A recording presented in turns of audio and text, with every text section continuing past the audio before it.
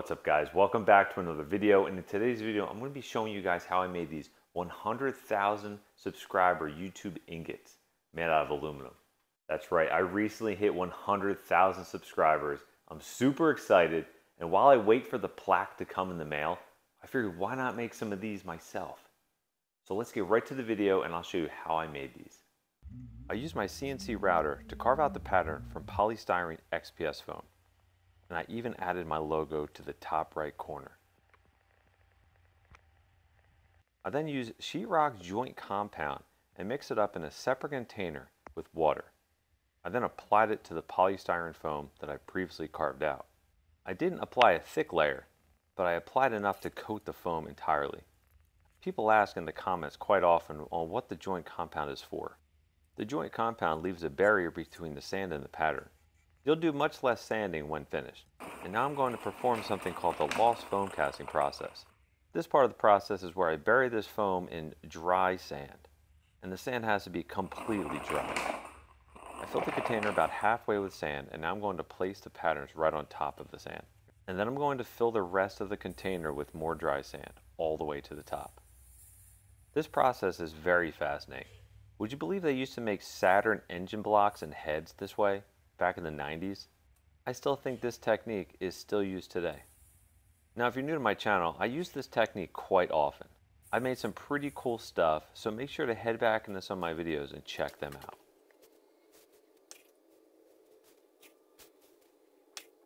And now that I've filled this all the way to the top, I'm going to place a pouring cup right on the top of the foam.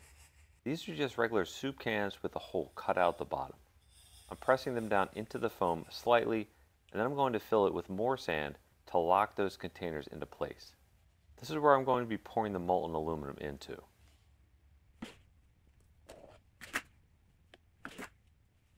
Now that this mold is all set up and ready to go, it's time to head outside and start melting down some metal. And what kind of aluminum am I going to melt today? I have so many ingots to pick, but for this video, I think we're going to be using these aluminum can ingots. That's right, I made these out of melting aluminum cans a few weeks back. So if you're interested in seeing that video, when you're finished this one, just head back to my older videos and check that out.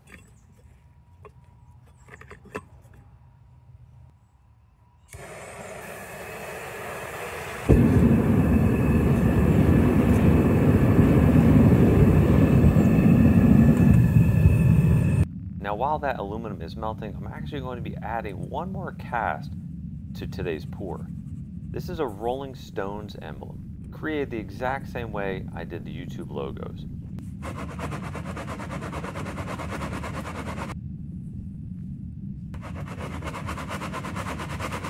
And I'm going to be making the mold the same exact way I made the other ones.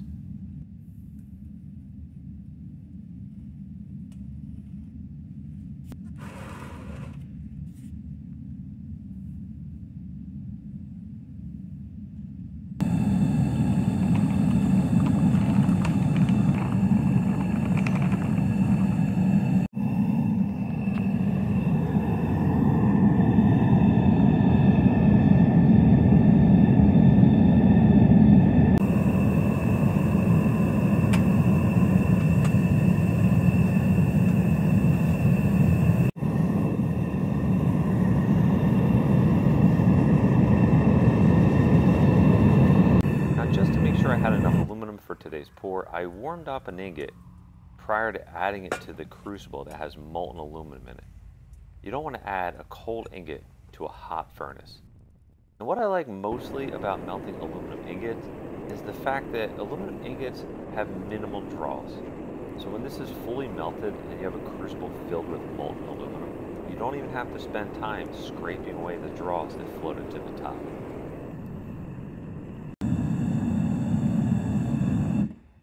Alright, the aluminum ingots have fully melted. It's time to turn off the propane to this furnace and remove this crucible and start pouring this molten aluminum into the mold.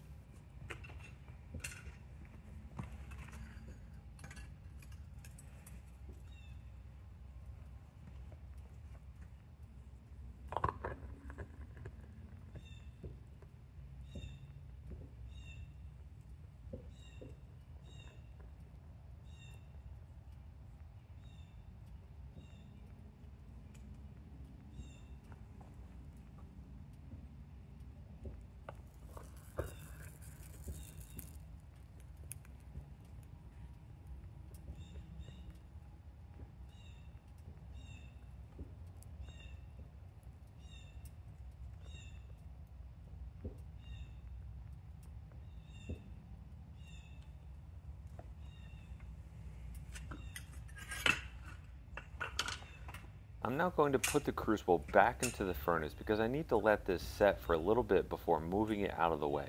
Because don't forget, I still have that one other mold that I need to pour the metal into.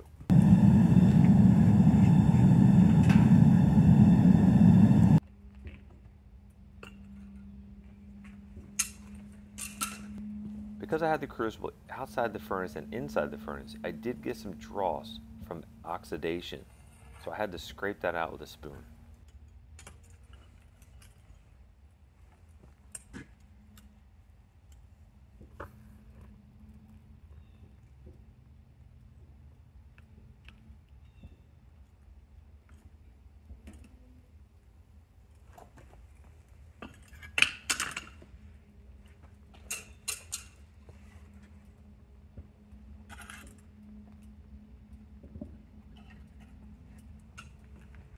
Been about 20 minutes. It's now time to pull these out of the sand to see how they came out. Now I'm going to use a wire brush to scrape away that drywall mud to get a better look.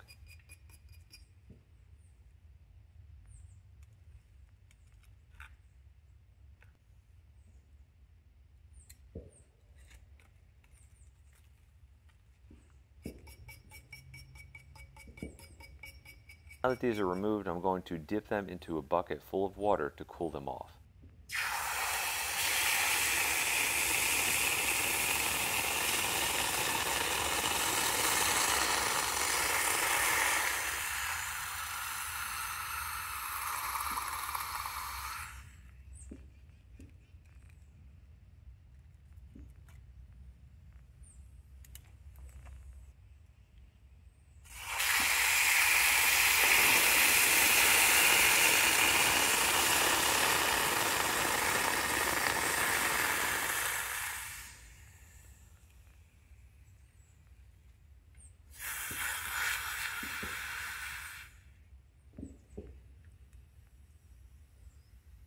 Now I'm going to do the same thing to the other cast.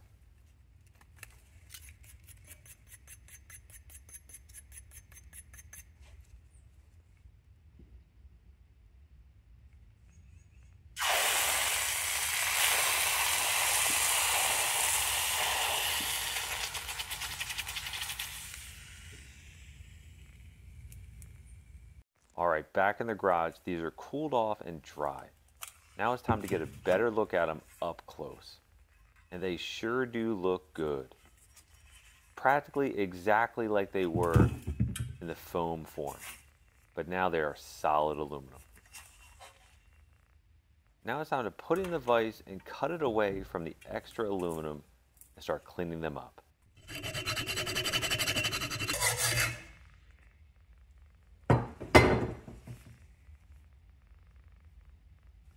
You didn't think I was going to make you watch me cutting each one away from that aluminum, did you? Well, now it's time to wire brush them.